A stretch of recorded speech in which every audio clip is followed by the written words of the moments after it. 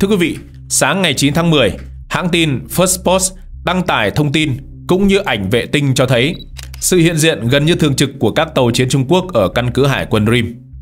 Ảnh vệ tinh thu được cho thấy Trung Quốc đã tài trợ để mở rộng căn cứ này, hiện trạng thay đổi rất nhiều so với trước kia. Việc mở rộng này phục vụ cho mục đích có thể neo đậu nhiều các tàu chiến lớn cùng lúc. Động thái này làm dấy lên lo ngại về sự gia tăng dấu chân quân sự của Trung Quốc ở Đông Nam Á. Và trong video ngày hôm nay, chúng ta sẽ cùng tìm hiểu câu chuyện này quý vị nhé. Nhìn vào ảnh vệ tinh này, chúng ta thấy hai hình khối màu xám có thể nhìn thấy từ vệ tinh trong hầu hết năm nay tại căn cứ hải quân Rim của Campuchia. Điều này dường như xác nhận nỗi lo ngại ngày càng tăng rằng Trung Quốc đang mở rộng dấu ấn quân sự của mình, vượt ra ngoài ba hòn đảo tranh chấp ở Biển Đông mà họ đã chiếm giữ và củng cố.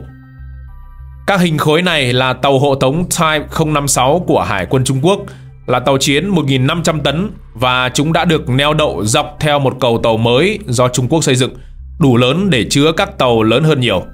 Trên bờ có các cơ sở khác cũng do Trung Quốc xây dựng, được cho là để Hải quân Trung Quốc sử dụng. Mặc dù chính phủ Campuchia đã nhiều lần phủ nhận khả năng như vậy, trích dẫn hiến pháp của mình cấm mọi sự hiện diện quân sự thường trực của nước ngoài và tuyên bố rằng RIM mở cửa cho tất cả các lực lượng hải quân thân thiện sử dụng.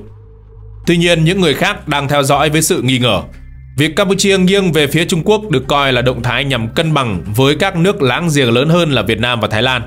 Nhưng chính phủ nước này vẫn khẳng định sự hiện diện của quân đội Trung Quốc chỉ nhằm mục đích huấn luyện và mang tính tạm thời. Việt Nam, Thái Lan và các nước khác trong khu vực, một số nước có tranh chấp lãnh thổ với Trung Quốc ở Biển Đông, lo ngại rằng Trung Quốc đang tiến hành bao vây chiến lược khu vực Đông Nam Á. Bằng chứng cho thấy Trung Quốc đang tiến hành bao vây chiến lược khu vực Đông Nam Á có thể được nhìn nhận qua một số khía cạnh địa chính trị, kinh tế và quân sự như sau. Thứ nhất là về địa chính trị, mở rộng ảnh hưởng tại Biển Đông, Trung Quốc đã tăng cường sự hiện diện của mình tại Biển Đông thông qua việc xây dựng và quân sự hóa các đảo nhân tạo ở quần đảo Trường Sa và Hoàng Sa. Đây là những vùng biển có tầm quan trọng chiến lược, nằm trên tuyến đường hàng hải quốc tế quan trọng, nơi mà các nước như là Việt Nam và Philippines có tuyên bố chủ quyền. Hành động của Trung Quốc không chỉ thách thức các quốc gia này mà còn làm thay đổi cán cân quyền lực khu vực. Trung Quốc đã phát triển các căn cứ quân sự và cơ sở hạ tầng tại Campuchia như căn cứ hải quân Rim. Điều này giúp họ mở rộng tầm ảnh hưởng và khả năng quân sự của mình tại khu vực Đông Nam Á đồng thời làm gia tăng sự hiện diện quân sự tại Vịnh Thái Lan, nơi có vị trí chiến lược quan trọng. Thứ hai là về kinh tế. Trung Quốc đã đẩy mạnh các dự án đầu tư cơ sở hạ tầng trong khuôn khổ BRI, tức là vành đai và con đường, tại các nước Đông Nam Á như là Lào, Campuchia, Malaysia và Indonesia. Những dự án này bao gồm đường sắt cao tốc, cảng biển và các dự án năng lượng. Mặc dù các dự án BRI mang lại lợi ích về cơ sở hạ tầng cho các nước tham gia, nhưng chúng cũng làm tăng sự phụ thuộc về kinh tế của các nước này vào Trung Quốc. Lào, ví dụ, đã bị cảnh báo về nguy cơ bẫy nợ do vay mượn quá mức từ Trung Quốc để thực hiện các dự án lớn như là tuyến đường sắt nối Viên Chăn và Côn Minh. Trung Quốc tăng cường đầu tư vào các lĩnh vực tài nguyên thiên nhiên ở Đông Nam Á. Điều này tạo ra mối liên kết kinh tế sâu rộng và kiểm soát nguồn tài nguyên quan trọng của khu vực. Thứ ba là về quân sự. Trung Quốc đã mở rộng và quân sự hóa các đảo nhân tạo tại quần đảo Trường Sa và Hoàng Sa. Trên các đảo này, Trung Quốc đã lắp đặt radar, hệ thống phòng không, tên lửa chống hạm và phát triển các đường băng có khả năng tiếp nhận máy bay quân sự. Điều này tạo ra một mạng lưới quân sự vững chắc, giúp Trung Quốc kiểm soát tuyến đường hàng hải quan trọng và các phương thức hoạt động tự do hàng hải của các quốc gia khác, đặc biệt là các nước Đông Nam Á. Hải quân và lực lượng hải cảnh Trung Quốc thường xuyên tiến hành các hoạt động tuần tra và áp đặt quyền kiểm soát Biển Đông, đôi khi dẫn đến các nhiệm vụ đụng độ với tàu của Việt Nam, Philippines và Malaysia – những hành động này không chỉ củng cố cố gắng hiện diện quân sự của họ mà còn là cách duy trì áp lực cho các nước láng giềng. Bắc Kinh đang tự tin mở rộng uh, chiến hạm hải quân của mình, bao gồm tàu sân bay, tàu khu trục và tàu ngầm. Với sự gia tăng này, họ có thể duy trì sự hiện diện quân sự lâu dài hơn tại khu vực Đông Nam Á, bao gồm cả khả năng phát triển sức mạnh nhanh chóng để đối phó với các tình huống khẩn cấp hoặc xung đột khu vực. Trung Quốc đã phát triển các hệ thống vũ khí như là tên lửa đạn đạo và các hệ thống phòng không tiên tiến đều tạo ra một vùng cấm đối với hải quân và không quân của các quốc gia khác ở khu vực Đông Nam Á, ngăn chặn lực lượng bên ngoài khu vực này. Đặc biệt là họ thường xuyên tiến hành các cuộc tập trận quân sự tại Biển Đông và những khu vực lân cận với sự tham gia của hải quân, không quân và lực lượng hải cảnh. Những cuộc tập trận này không chỉ là biểu dương sức mạnh mà còn là cơ hội để Trung Quốc thử nghiệm các chiến thuật quân sự mới và gửi thông điệp đe dọa tới các quốc gia trong khu vực. Ngoài ra, Bắc Kinh còn tăng cường sức mạnh quan hệ quân sự với các nước ngoài khu vực ASEAN như là Pakistan và Nga. Điều này giúp Trung Quốc có thêm sự hỗ trợ và ảnh hưởng quân sự để thực hiện chiến lược của mình ở khu vực Đông Nam Á. Vấn đề nằm ở chỗ, Campuchia bảo rằng họ muốn cân bằng sức mạnh với Thái Lan và Việt Nam, nhưng đối tượng mà họ trông chờ dựa dẫm lại là Trung Quốc. Liệu là họ có thể dựa hơi Trung Quốc hay không? Câu trả lời có vẻ như là không. Thứ nhất, Trung Quốc thường tuyên bố theo đuổi một chính sách ngoại giao hòa bình và coi trọng ổn định khu vực. Do đó, nếu Campuchia muốn thể hiện quyền lực với Thái Lan và Việt Nam, thì chắc chắn Trung Quốc sẽ chọn đứng ngoài chứ không sẵn sàng bênh vực Campuchia vì họ biết nó có thể dẫn đến hậu quả nghiêm trọng về mặt chính trị và kinh tế. Hơn nữa, bất kỳ hành động quân sự nào từ Trung Quốc đối với các nước láng giềng đều có thể kích thích phản ứng từ cộng đồng quốc tế, đặc biệt là từ các cường quốc như là Mỹ và các quốc gia như là các quốc gia trong ASEAN chẳng hạn. Điều này có thể dẫn đến việc tăng cường căng thẳng khu vực và cô lập Trung Quốc trên trường quốc tế. Thứ hai, cả Thái Lan và Việt Nam đều có mối quan hệ lịch sử và kinh tế chặt chẽ với Trung Quốc. Thái Lan là đối tác thương mại quan trọng và cũng có nhiều hợp tác đầu tư với Trung Quốc. Việt Nam, mặc dù có tranh chấp với Trung Quốc ở Biển Đông, cũng tìm cách duy trì quan hệ thương mại và hợp tác kinh tế với Bắc Kinh. Nếu Campuchia muốn kéo Trung Quốc vào một cuộc đối đầu trực tiếp với một nước láng giềng thì sẽ gây ra sự phản kháng mạnh mẽ từ Thái Lan và Việt Nam, làm gia tăng xung đột và bất ổn trong khu vực. Điều này không chỉ ảnh hưởng đến Campuchia mà còn ảnh hưởng tới lợi ích chiến lược của Trung Quốc. Cho nên, Campuchia có thể mong đợi sự hỗ trợ từ Trung Quốc để tăng cường sức mạnh quốc phòng và phát triển kinh tế, nhưng kỳ vọng về việc dựa vào Trung Quốc để gây sức ép quân sự lên Thái Lan hoặc Việt Nam là không thực tế. Thay vào đó, họ nên tập trung vào việc duy trì mối quan hệ hòa bình và hợp tác với cả Trung Quốc, Thái Lan và Việt Nam để đảm bảo ổn định và phát triển cho khu vực. Có một video trên X đã ghi lại cảnh quân đội giải phóng Balochistan BLA của Pakistan cảnh báo người Trung Quốc và Pakistan rằng nếu không muốn chết, hãy rời khỏi Balochistan. Đây là ví dụ minh chứng rõ ràng cho Campuchia thấy trong quan hệ với Trung Quốc, đối tác của họ luôn nắm phần mũi dao, tổn thương và mất mát luôn thuộc về đối tác. Chính vì những bất mãn đã bùng nổ hoặc đang âm ỉ ở các quốc gia đối tác của Trung Quốc đã mang lại cho các quốc gia đang muốn hợp tác với Trung Quốc việc phải nhìn nhận lại. Nếu Campuchia vẫn bán mình cho Trung Quốc để biến mình trở thành bệ phóng đe dọa tới láng giềng, thì bất ổn chính trị xã hội và kinh tế của nước này sẽ gia tăng mạnh mẽ. Kẻ hủy diệt mình không ai khác lại là chính mình. Điều nguy hiểm nhất là Campuchia có thể bị mắc kẹt trong cuộc cạnh tranh quyền lực của Mỹ và Trung Quốc. Đứng về góc độ cạnh tranh chiến lược giữa Mỹ và Trung Quốc về sức mạnh hải quân thì chúng ta có thể liên tưởng tới bàn cờ vây. Bàn cờ vây là một trò chơi chiến thuật yêu cầu người chơi chiếm lĩnh lãnh thổ bằng cách đặt quân cờ của mình lên các điểm giao nhau trên bàn cờ. Sự linh hoạt, tính toán chiến lược và khả năng dự đoán nước đi của đối phương là rất quan trọng. Về căn cứ hải quân, cả Trung Quốc và Mỹ đều đang cố gắng chiếm lĩnh các khu vực chiến lược, sử dụng các căn cứ như là những quân cờ vây trên bàn cờ. Như một người chơi có kinh nghiệm, Mỹ đã thiết lập một mạng lưới căn cứ hải quân vững chắc trên toàn cầu, giống như việc đặt những viên đá để mà kiểm soát nhiều điểm giao thông quan trọng.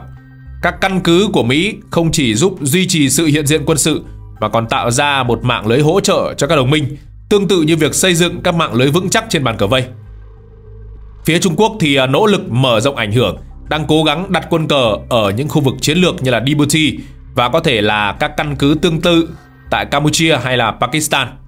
Điều này cho thấy Bắc Kinh đang tìm cách xây dựng một mạng lưới căn cứ hải quân, mặc dù còn hạn chế hơn so với Mỹ.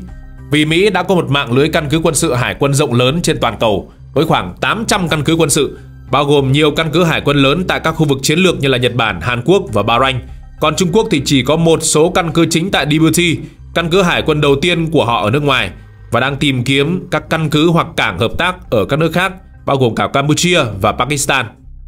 Hành động của Bắc Kinh có thể được coi là việc khoét lỗ vào các khu vực mà Mỹ đã kiểm soát, tạo ra những thách thức cho đối thủ. Đánh giá về tính linh hoạt, Mỹ có khả năng điều động lực lượng linh hoạt giữa các căn cứ hải quân giống như một người chơi biết cách chuyển đổi chiến thuật tùy theo diễn biến của trò chơi.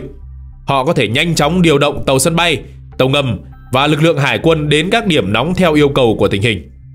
Còn Trung Quốc cũng đang gia tăng khả năng linh hoạt của mình thông qua việc hiện đại hóa hạm đội hải quân và mở rộng căn cứ. Tuy nhiên họ vẫn phải đối mặt với những thách thức về thời gian và tài nguyên để tạo ra một mạng lưới tương tự như Mỹ. Cả hai nước đều đang tìm cách mở rộng ảnh hưởng của mình ở khu vực Đông Á và các vùng biển chiến lược, tạo ra một cuộc cạnh tranh tương tự như việc tìm cách kiểm soát bàn cờ. Việc cạnh tranh giữa hai nước trong việc thiết lập căn cứ hải quân có thể quyết định cách mà cục diện quyền lực toàn cầu sẽ diễn ra trong tương lai. giống như cách mà các nước đi trong bàn cờ vây có thể quyết định kết quả của trò chơi. Vậy Việt Nam có thể đối phó với sự hiện diện quân sự của Trung Quốc ở Campuchia hay không? Việt Nam có thể tập trung vào một số địa điểm chiến lược quan trọng trong khu vực như là vùng biển gần quần đảo Trường Sa và Hoàng Sa. Đây là những khu vực quan trọng đối với chủ quyền và an ninh của Việt Nam. Tăng cường hiện diện hải quân tại đây sẽ giúp bảo vệ lợi ích biển và răn đe sự can thiệp của Trung Quốc. Hoặc căn cứ hải quân Cam Ranh vốn là một trong những căn cứ hải quân lớn nhất và hiện đại nhất của Việt Nam. Cam Ranh có vị trí chiến lược rất quan trọng trong việc triển khai lực lượng hải quân và giám sát các hoạt động của Trung Quốc trong khu vực. Bên cạnh đó, các căn cứ quân sự ở các tỉnh như là Khánh Hòa hay là Bình Định có thể được tăng cường để sẵn sàng ứng phó với các tình huống khẩn cấp. Việc hiện diện quân sự ở đây có thể tạo ra sức mạnh răn đe đối với Trung Quốc hay những căn cứ ở phía Bắc cũng có thể đóng vai trò quan trọng trong việc theo dõi và phản ứng nhanh chóng đối với các hoạt động của Bắc Kinh tại Campuchia. Mặt khác, Việt Nam cũng phải gia tăng hợp tác với Thái Lan và các nước ASEAN để sử dụng các căn cứ quân sự của họ, giúp Việt Nam tăng cường sức mạnh trong khu vực. Không chỉ các quốc gia trong khu vực, Việt Nam cũng cần phải hợp tác và tham gia các cuộc tập trận quân sự chung với Mỹ, Nhật Bản, Ấn Độ và các nước khác, có thể giúp tăng cường năng lực quân sự và nâng cao khả năng ứng phó với hiện diện quân sự của Trung Quốc. Nhìn chung, không thể đơn độc trong một cuộc cạnh tranh với một gã khổng lồ có dã tâm như là Trung Quốc. Có một thông tin đáng chú ý là Pháp đã trở thành quốc gia đầu tiên trong Liên minh châu Âu có quan hệ đối tác chiến lược toàn diện với Việt Nam. Tổng Bí thư, Chủ tịch nước Tô Lâm và Tổng thống Pháp Emmanuel Macron đã ký thỏa thuận nâng cấp quan hệ song phương trong chuyến thăm của ông Tô Lâm tới Điện Élysée ngày 8 tháng 10. Việt Pháp nâng quan hệ lên đối tác chiến lược toàn diện. Trước tiên, chúng ta cần hiểu hợp tác chiến lược toàn diện là một hình thức quan hệ giữa hai hoặc nhiều quốc gia. Trong đó các bên tham gia cam kết hợp tác chặt chẽ trong nhiều lĩnh vực khác nhau, không chỉ giới hạn trong một số lĩnh vực như là kinh tế hay quân sự. Nhìn chung, việc nâng tầm quan hệ hợp tác chiến lược toàn diện không chỉ mang lại nhiều lợi ích trực tiếp cho quốc gia đó, mà còn góp phần vào sự ổn định và phát triển bền vững của khu vực và toàn cầu. Khi chúng tôi nghiên cứu bản tuyên bố chung mà hai nước ký kết thì thấy rằng tuyên bố chung về hợp tác chiến lược giữa Việt Nam và Pháp được ký kết ngày 8 tháng 10 mang lại nhiều lợi ích nhưng cũng đặt ra không ít thách thức cho Việt Nam. Về mặt lợi ích thì Việt Nam có thể nhận được sự chuyển giao công nghệ quân sự và đào tạo từ Pháp, giúp nâng cao năng lực quốc phòng Đặc biệt trong bối cảnh tình hình an ninh khu vực đang diễn biến phức tạp, tuyên bố có thể dẫn đến các thỏa thuận cụ thể trong việc chống khủng bố và tội phạm xuyên quốc gia, tạo ra môi trường an ninh ổn định hơn cho Việt Nam. Bên cạnh đó, hợp tác chiến lược mở ra cơ hội cho doanh nghiệp Pháp đầu tư vào Việt Nam, đặc biệt trong các lĩnh vực hạ tầng, năng lượng và công nghệ cao. Điều này sẽ đóng góp vào tăng trưởng kinh tế và tạo việc làm cho người dân Việt Nam. Mối quan hệ chặt chẽ hơn có thể tạo điều kiện thuận lợi cho hàng hóa Việt Nam vào thị trường Pháp và châu Âu. Việt Nam cũng có thể hưởng lợi từ việc hợp tác với các trường đại học, viện nghiên cứu Pháp giúp nâng cao chất lượng giáo dục và đào tạo, đặc biệt trong các lĩnh vực kỹ thuật và công nghệ. Khi Việt Nam có quan hệ đối tác chiến lược với một quốc gia có ảnh hưởng như Pháp, có thể giúp Hà Nội nâng cao vai trò và vị thế trong cộng đồng quốc tế, đặc biệt trong khu vực ASEAN và châu Âu. Hợp tác với Pháp sẽ giúp Việt Nam đa dạng hóa các mối quan hệ quốc tế, giảm bớt sự phụ thuộc vào một số đối tác truyền thống. Tuy nhiên thì Việt Nam cũng phải đối mặt với một số thách thức. Việc củng cố quan hệ với Pháp có thể khiến Việt Nam phải đối mặt với áp lực từ các cường quốc khác trong khu vực, đặc biệt là từ Trung Quốc. Điều này có thể dẫn đến các căng thẳng địa chính trị. Nếu Trung Quốc coi đây là một mối đe dọa thì họ có thể có những phản ứng mạnh mẽ hơn về mặt quân sự hoặc kinh tế, ảnh hưởng đến ổn định khu vực. Đặc biệt, sự khác biệt trong cấu trúc kinh tế và quy định pháp lý giữa Việt Nam và Pháp có thể tạo ra khó khăn trong việc triển khai các dự án hợp tác, đặc biệt là trong lĩnh vực đầu tư. Sự gia tăng đầu tư từ Pháp có thể tạo ra áp lực cạnh tranh đối với các doanh nghiệp trong nước đặc biệt trong các lĩnh vực mà Việt Nam còn yếu. Một yếu tố cực kỳ quan trọng đó là cải cách. Để thu hút đầu tư từ Pháp, Việt Nam có thể phải tiến hành các cải cách hành chính, tạo ra một môi trường đầu tư thuận lợi hơn. Điều này có thể gặp khó khăn do các trở ngại nội bộ. Vâng, hẳn quý vị à, thắc mắc là tại sao Pháp lại chọn Việt Nam để mà nâng tầm quan hệ đối tác chiến lược phải không ạ? Trên thực tế thì Pháp muốn củng cố ảnh hưởng của mình trong khu vực châu Á Thái Bình Dương và việc nâng tầm quan hệ với Việt Nam là một bước quan trọng trong chiến lược này. Mà Việt Nam thì lại nằm ở vị trí quan trọng trong khu vực Đông Nam Á, gần các tuyến đường hàng hải quan trọng. Điều này khiến Việt Nam trở thành một đối tác quan trọng trong chiến lược an ninh và kinh tế của Pháp tại khu vực này. Đặc biệt trong bối cảnh toàn cầu hóa và dịch chuyển chuỗi cung ứng, Việt Nam đã trở thành một trung tâm sản xuất quan trọng. Việt Nam có một nền kinh tế đang phát triển nhanh chóng và đang trở thành một điểm đến hấp dẫn cho đầu tư nước ngoài. Pháp nhận thấy cơ hội lớn để thúc đẩy đầu tư và thương mại giữa hai nước, đặc biệt trong các lĩnh vực như là công nghệ, năng lượng và hạ tầng. Những điều Việt Nam có, Pháp có thể tận dụng để mà củng cố vị thế của mình. Điều quan trọng nhất là sự gia tăng hoạt động quân sự và chính trị của Trung Quốc ở Biển Đông, đặc biệt là trong các tranh chấp lãnh thổ với các nước như là Việt Nam, Philippines và Malaysia. tạo ra một bối cảnh căng thẳng. Bắc Kinh đã mở rộng ảnh hưởng của mình thông qua các hành động như là xây dựng và quân sự hóa đảo nhân tạo, khiến các nước trong khu vực lo ngại về chủ quyền và an ninh.